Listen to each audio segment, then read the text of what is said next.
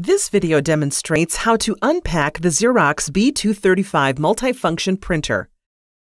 Using a utility knife, cut the tape on the left, right, and top sides of the box.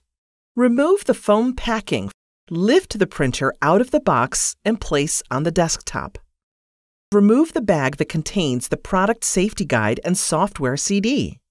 Open the automatic document feeder and remove the cardboard box that contains the power cord and install guide. Remove the tape from the front of the printer. Close the document feeder and remove the tape from the front, back, and right sides of the document feeder. Remove the tape from the back of the printer.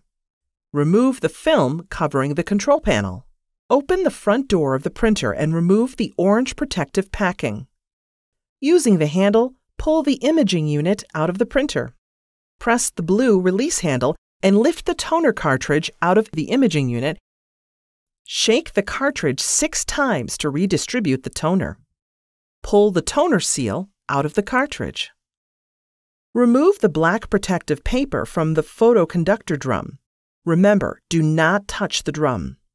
Insert the toner cartridge into the imaging unit and push down until the cartridge is seated.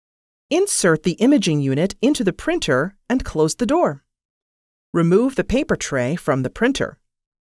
Remove the tape from the paper guides. To accommodate paper length, push the blue spring-loaded release tab and pull the paper guide out of the tray. Press the blue tabs and open the paper guides. Fan the paper and ensure the edges align. Place the paper in the tray guide and adjust the paper guides to the correct paper position. Insert the paper tray into the printer and close the tray. Connect the power cord to the back of the printer. Then, plug the power cord into a properly grounded electrical outlet. The unpacking of the B235 MFP is complete.